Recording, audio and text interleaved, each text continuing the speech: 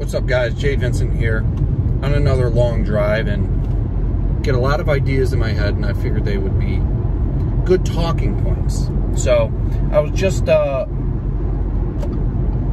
talking with a Patreon member of mine and um, we were talking about variables of his approach to change in order to add some size. Um, he's he's about 140 something pounds.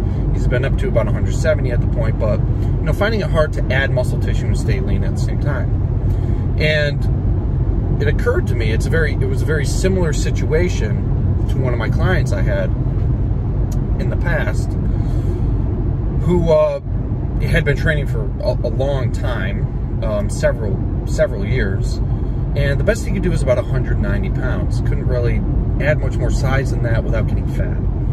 And um, he played with the calories, he played with training volume, training frequency, trying to do more. And it wasn't until a good friend of mine who knew him, a good friend of mine is a, is a barber, who knew him, uh, recommended him to me.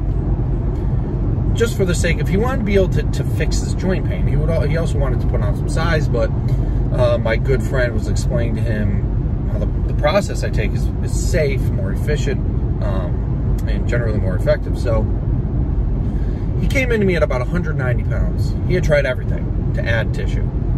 He tried increasing protein, mass gainers. He's very disciplined with his diet.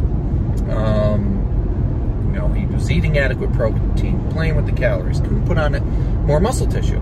So I explained to him what to do, and I told him to trust the process and be patient. He was a very disciplined individual. Always meal prepped, did the work, trusted the process. Sam is now 205 pounds in lean condition, probably about 10%, 11% body fat. It took him one and a half to two years of training with me to add that much tissue. But